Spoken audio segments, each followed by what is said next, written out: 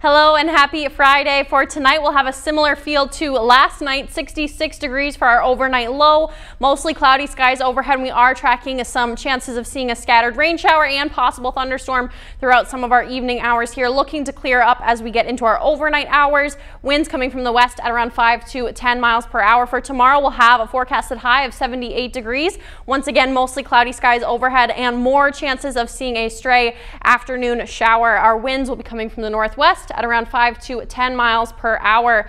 Taking a look at Futurecast here to show you these chances. Very quick hitting, hit or miss. Most of our areas looking to stay dry. Once again, they look to clear up by our overnight hours, bringing us into Saturday morning. We'll start our day with mostly cloudy skies overhead, and that'll be the case for most of our day. Seeing some uh, chances, mainly areas south of I-90. In our afternoon, we'll see some more chances for our evening areas north of I-90, but once again, we're really not going to be um, receiving much for rainfall total wise. Most of our areas really not looking to receive any, just some seeing a little bit of rainfall. Viroqua, Preston, Black River Falls, anywhere from a tenth up to a quarter of an inch. As far as temperatures go, we're going to be pretty comfortable here throughout our extended forecast. A little bit below average here for a little while. 78 degrees for our Saturday. Sunday looking absolutely gorgeous. 84 degrees. Plenty of sunshine. Monday looking similar. Tuesday, Wednesday also in the lower 80s. And we also will be staying dry for the early and middle portions of next week as well.